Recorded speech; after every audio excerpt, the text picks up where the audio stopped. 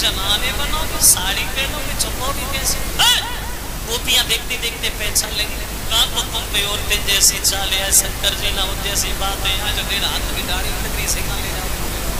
गोपियाँ पहचान लेंगी। मेरी बड़ा हँसी होगी। ज़्यादा करोगे तो हम भी नहीं जाएँगे। पार्वती से शंकर जी बोले, तुमसे किसने कहा तुम जाओ? तुम बैठो भैया। साड़ी उठाई जनाने बने कैलाश पर्वत पे भोले बाबा महाराज देखने के लिए जलाने पर बैठे क्या दशा है शंकर जी की? माँ साड़ी पहने काजल लगा मतलब और तुम स्वीकार किया, क्या पोजिशन है? मैं कभी कह रहा है